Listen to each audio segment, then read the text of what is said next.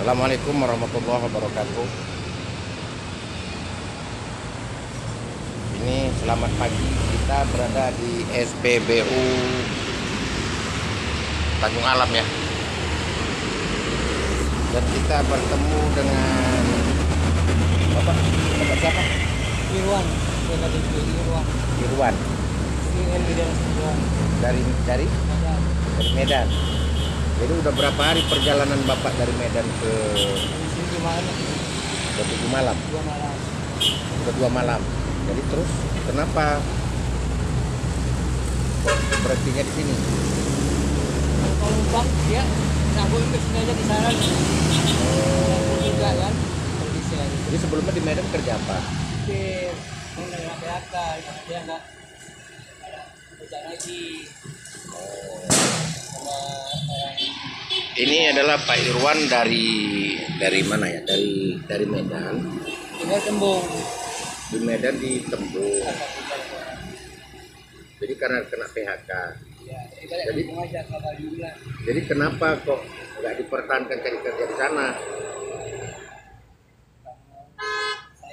Jadi itu sama istrinya. Iya, kalau istri guru ngaji, ngajar-ngajar ikro. Dia bang kita pulang kampung apa ngajar. Kampung dia jempuan, saya mau tinggi. Dia langsung gua aja. Orang rumah tinggal ibu kan ada. Ini banyak barang-barang ini. Iya.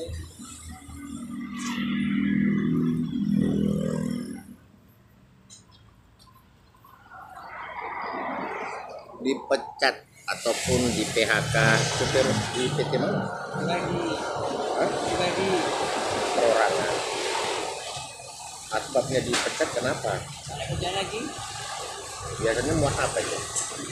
dia urusan proyek gitu. Ya teringatnya kenapa kok nggak ada kawan-kawan sana yang membantu Medan itu jadi sulit, kawan sulit, nggak bisa dibantu. Kalau saya kerja dulu, orang tak tolong kerja, saya masukin kerja. Yang saya susah, ada yang membantu. Semua belum Cuma ngontrak. Anak, Bulan 600, anak tiga, di mana?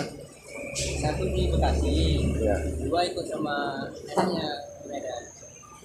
Jadi anak tadi nggak bisa bantu bapak Sekolah, pulang. sekolah. Jadi anggaran untuk ongkos pulang, Nggak ada. jadi makan tahap dari mana? Karena orang kasihnya kasihnya, tapi nggak minta. Ini untuk makan pak, makan nggak apa-apa, bikin istri makan. Jadi orang berdua nggak makan pak. Ya? Dia dikasih, bapak dikasih, batang-batang nggak apa-apa kan. Dulu saya nggak canggih merokok, karena suntuk lah. Iya, iya. Bagus ke Bandung aja lah. Ya cuman kan herannya kenapa begitu dipecat, begitu di PHK, ya seharusnya kan untuk cari antisipasi Uang lain nggak dikasih tahu. Nggak dibayar, berarti nggak dibayar. Kenapa saya pertahankan? Ini kita tengok nih istrinya lagi tidur ya. Ini udah udah udah ter terlunta-lunta nih mereka udah dua hari. Kita di malam sampainya tadi malam. Malam lagi. Malam. Ya udah berapa malam sini? Dua. Di sini udah dua malam. Itu tujuannya pulang ke mana? Bandung. Ke Bandung. Kalau ibu tanya, taruhlah dua orang bisa 800, gitu dua orang kan bisa. Kata. Saya 800, 100, saya nggak ada uang pak. Sa- ah, satu jalan, numpang pun aja kata kata orang sini kan. Tahu tuh. Belakang baik buktinya, supirnya. Nggak pun sampai Bandung, tak sampai Jambi. Nah, ya kan? Tak Ya Palembang. kalau gitu bagusan ke apa aja minta bantuan dari kita ada polsek tempat kalau bapak ketemu, saya nggak mau lah Pak. Oh, nggak mau ya. Nanti dikasih lah berangkat polisi ini pak? Ini yang gratis. Saya jangan kami nggak ada sama aja Pak. makan Tapi hubungan sama anak bisa. jangan, Kontak. jangan tahu lah karena orang tuanya kesusahan di nggak fokus buat dia belajar kan baru masuk kuliah dia Oh, jadi biaya anaknya kuliah dari mana? neneknya di, di Bekasi waknya waknya pensiunan pegawai negeri lah Ya ini ya, Bapak Irwan asli orang Bekasi, Orang Medan orang Medan. Jadi ke Bekasi ngapain? nggak ke Bandung Mau ke Bandung ngapain? kampung halaman lah. sekalian jarak nenek kakek Tapi Bapak bilang Bapak orang Medan. iya Tapi kalau ke Bekasi kok untuk pulang kampung? Bekasi kan anak Ya. tapi kan saya ke Bandung saya nggak ke Bekasi ke Bandung aja sekalian kerja di sana lah gitu. Ada Mencari kerja. karena tahu ada sepupu sana kan? Sepupu banyak sana. Tapi tak ada problem merapi satu pun. Entah saudara-saudara kek atau gimana. nggak ada pak. Medan nggak ada. Ya ini salam untuk bagi yang yang lain. Ini Bapak Irwan dari Medan. Dan dia mau pulang ke kampung halaman. Dia di PHK di suatu perusahaan swasta ya. swasta dan tidak mendapat pesangon. Ini beliau terlunta-lunta nih, terlunta-lunta di SPBU Tanjung Alam, Kabupaten Asahan, Provinsi Sumatera Utara. Bagi saudara-saudara ataupun yang merasa kenal dengan Bapak Iwan, yang dia terlunta-lunta di emperan market Tanjung Alam. Ya, beliau tidak bisa berangkat karena beliau tidak mempunyai uang. Besar hatinya beliau semoga ada kiranya untuk bagi saudara-saudara kita untuk membantu beliau keberangkatannya pulang ke Bekasi karena beliau di PHK tidak dibayar tidak dibayar pak ya? Sama perusahaan itu. Ini perusahaan atau perorangan? Ruangan perorangan. Tapi di perusahaan juga. Sendiri sendiri gitu. Oh, jasa jadi bapak bawa KTP ya? Bawa ya. bawa KTP bawa SIM berarti ada? SIM di Medan. Kenapa? Karena saya punya tetangga minta uang dia gitu. Tapi dia nggak mau. SIM-nya pegang dia. Dia apa yang ada SIM 200 gitu. SIM Dia bapak ditahan kenapa bapak kasih bukan saya titip lah saya gaji lah gitu. Nanti ada uang tebus gitu. tapi SIM perlu uang nggak ada pak. Macam mana kayak gitu? Kok bisa SIM itu kan? SIM kan sebagai peluru bapak. Iya tapi kan kadang kadang jepit apa apa apalah gitu kalau di Bandung ada bisa ngurusin tembak bisa jadi bapak ini kepulangan bapak ini nggak ada masalah di sama kerja. Entah apa nggak ada di nggak ada. Nggak ada kriminal nggak? Walaupun ke Medan balik lagi. Ada tempat tinggal. Rumah sewa udah ada kontraknya itu di rumah. Kalau orang ke Medan bisa pulang. Tinggal di mana coba itu saya pikirkan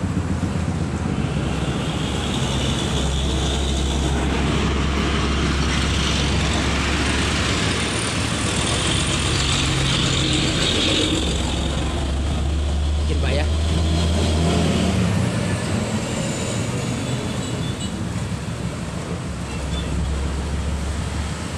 Istrinya sampai tertidur tidur ya kita nggak tahu nih istrinya dan ini adalah alat-alat alat-alat dari dari beliau yang sewaktu masih di Medan ya.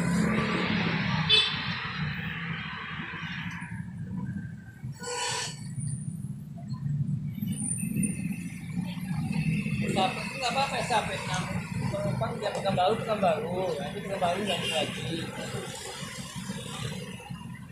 Karena sepedanya bisa lah kalau kalau bus kan bayar.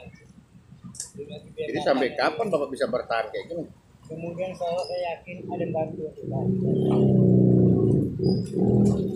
anak saya belum pernah minta-minta kalau umur lima lima ini ya saya belum merasakan Iya, iya. karena sebelumnya bukan saya sombong angku atau ya ya sedikit bantu orang.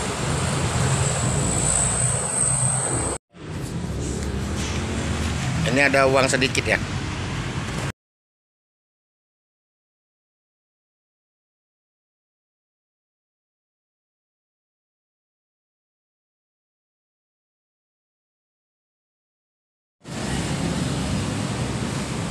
Dikarenakan Bapak ini kesusahan, Pak Irwan sudah dua malam menunggu di teras SPBU Tanjung Alam. Kita bantu sedikit uang 10.000 Pak ya. Tuh, makasih pak ya Ya ini untuk bekal untuk makan sama Pak Irwan. Dan dia menunggu daripada uluran ada saudara-saudara yang ingin menyelamatkan beliau menuju ke kampung halamannya di Bandung di Bandung. Jadi beliau telah menggadaikan SIM. SIM beliau di Kota Medan dikarenakan beliau ingin minjam uang 200 ribu.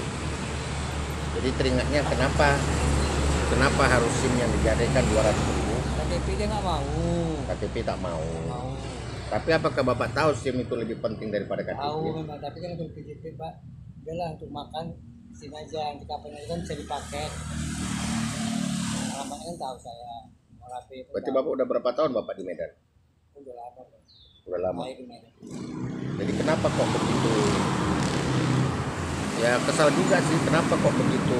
Ada masalah kok nggak bisa diselamatkan di sana gitu? bukan soal ini soal jujur ya saya kan sakit gula Terus, saya pernah rumah sakit Singapura kan ada KTP program Pak Bobi kan gratis dirawat kan seminggu lama sepuluh hari empat kali saya masuk sakit pak oh baru sakit dulu. ya jadi kerja pun nggak fokus rumah sewa kan harus dibayar mana tahu rumah sewa tuh kita sakit atau enggaknya jatuh tempo tanggal 8 tanggal 8 bayar lambat dua hari tiga hari diusir Jadi sebelumnya selain supir Bapak usahanya apa?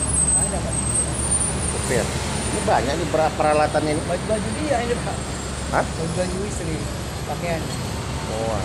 dada mukena Coba ditumpang tak motor-motor ini nanti Pak, motor yang angkat-angkat mobil ini. tapi kosong ya keretanya Ya, maunya minta minta minta lah. Nanti dia kalau pas ada kosong pada apa itu coba minta tumpangkan. dia itu ke Tangerang ini mobilnya ini Tangerangnya. Lalu dia bilang ini supir-supir di sini tadi Ya Dia coba lah.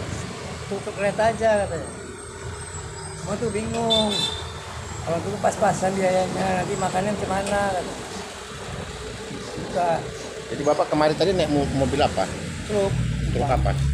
kalau diesel kawan ada kawan kenal kenal gitu lah di amplas Oh, dia mau ke mana? ke ini dah kembali Bawa ikan. enggak kosong Yalah dia mau ngambil ikan bukan balik. sendiri dia Allah. Apa daya upaya kita? Ya kita hanya bisa memberikan daripada bantuan sedikit untuk bapak ini dan beliau dengan istrinya. Mungkin istrinya ini tertidur karena menahankan lapar. Menahankan Ibu lapar. sakit, sakit ya pak demam merah. Ini kasih obat merah berarti nyamuk. Berair ya pak. Alergi dia dia nggak bisa panas nggak panas kalau dingin kita sendiri.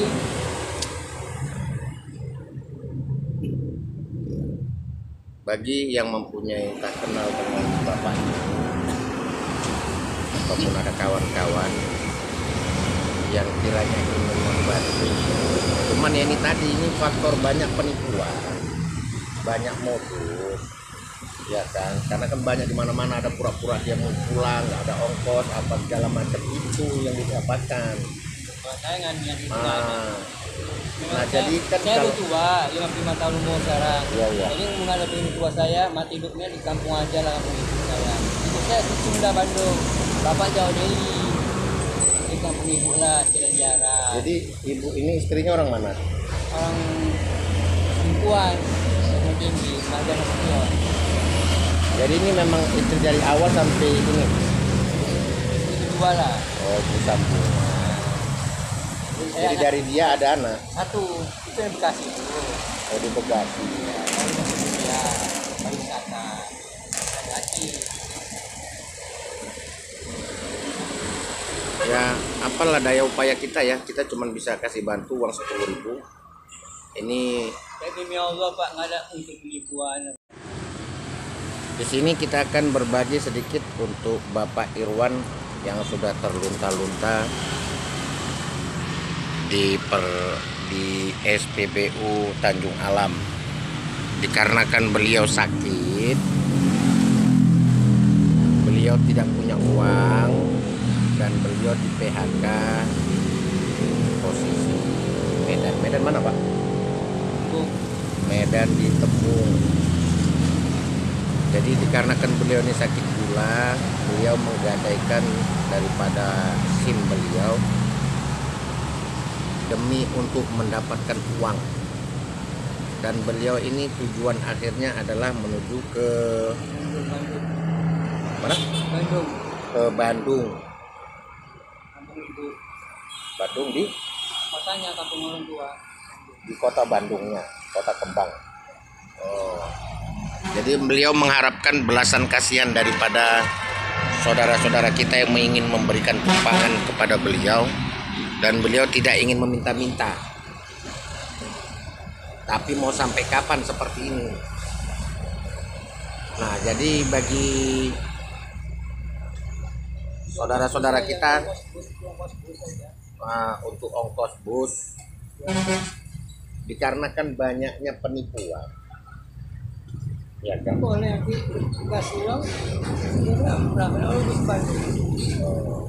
gitu aja jadi ceritanya untuk hari ini adalah selamatkan untuk hari ini untuk makan. Ya kita nanti sampai makan. Ya kalau mau mandi kan boleh. Eh dulu jaganya saya Pak 2000 Pak apa saya seribu ya nggak apa-apa lah. Namanya kita mereka nggak kenal juga sama bapak dan bagi sekali lagi kita ingatkan bagi ada kawan-kawan yang mengenal dari Bapak Irwan. Bapak Irwan yang selaku supir karena dia mempunyai penyakit. Rumah ngontrak pulang menuju ke kota Bandung.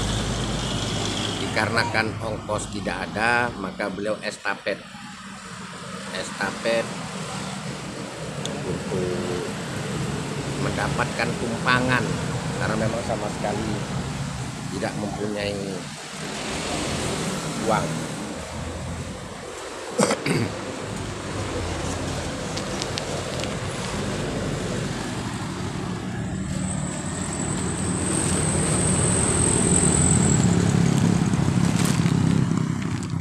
Jadi kita ada bagi sedikit ya.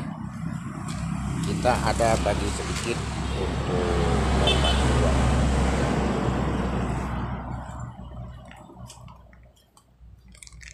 Karena beliau belum makan, kita tadi sudah kita bagi uang dan beliau kita kasih nih. Sama Pak Irwan, oh bekal makan. kasih Ya. Pak ya Jadi udah dua malam di sini. iya Ya udah itu dibangunkan istrinya biar makan. Nah, ya kan? Yang telah menemukan channel ini. Kisah bukan editan, bukan rekayasa, ini kisah nyata orang Bandung yang bekerja di Medan sebagai supir motor pribadi. Mungkin dikarenakan beliau itu tidak mampu ataupun karena keumuran beliau karena beliau sakit jadi beliau tidak dipakai lagi. Iya. Tidak digunakan kembali jadi beliau mengambil inisiatif beliau akan pulang ke Bandung.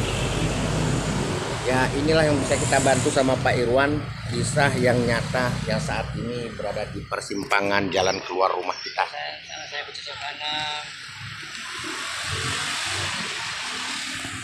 jadi itu istrinya udah makan? Belum.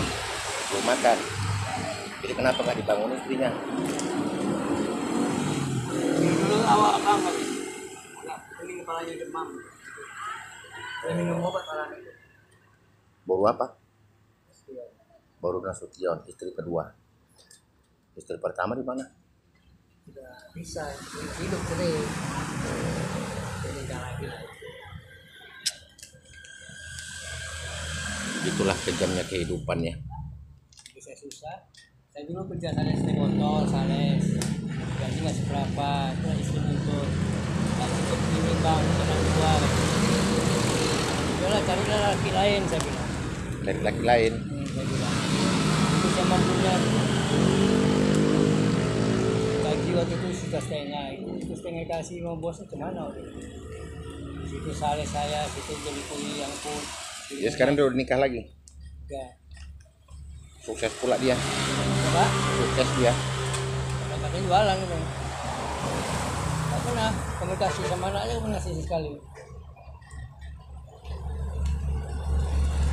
An- Sama anak pun dilarang ngobrol sama mama. Kalau anak sayang kali mawa. Kalau telepon nangis-nangis sama mawa. Jadi dengan adanya menemukan channel ini yang telah men, yang telah mensubscribe, mensubscribe dan memberikan komentar ataupun like itu termasuk daripada sudah membantu Pak Nirwan yang dalam perjalanan. Karena dengan adanya mensubscribe dan memberikan komentar yang insya Allah kalau kita memang channel ini sangat bermanfaat bagi kawan-kawan nanti kita dapat cuan. Insya Allah nanti kita bagi-bagikan dua setengah persen dari hasil daripada channel YouTube. Terima kasih. Mungkin kita tidak berlama-lama. Ini adalah kisah perjalanan seorang supir pribadi dari kota Medan menuju kota Bandung yang beliau terlunta-lunta bersama istri yang kedua dikarenakan tidak mempunyai cuan. Oke, sampai di situ. Terima kasih Pak Irwan. Ya. Jadi aku aku pulang aku berangkat Ya. Semoga nanti Pak Irwan bisa cepat dapat dapat sumbangan ataupun ada bantuan dari orang lain. Iya. Ini ini patut kita ini patut kita berikan apresiasi. Apresiasi minta ya beliau tidak minta-minta. Dan beliau duduk. Ya kan? Nah wajar kalau kita bertanya karena banyak penipuan yang mengatasnamakan kesusahan dengan tujuan ingin menipu orang lain. Ini bisa kita cek ini barangnya. Dan itu istrinya Oke, sampai di sini dulu pembicaraan kita. Semoga ini bisa bermanfaat bagi saudara-saudara yang mengenal Pak Irwan. Ya kira-kira dibantulah ataupun kalaupun mau dikontakkan ataupun hubungi kita mana tahu nanti bisa bisa berkomunikasi kalau beliau masih ada di sini. Kasih Nanti aja, kita komunikasi. ya kan? Insya Allah ya sampai di situ dulu. Terima kasih Pak Irwan. Iya, Pak. istrinya sampai dulu beliau punya penyakit sakit gula. Assalamualaikum warahmatullahi wabarakatuh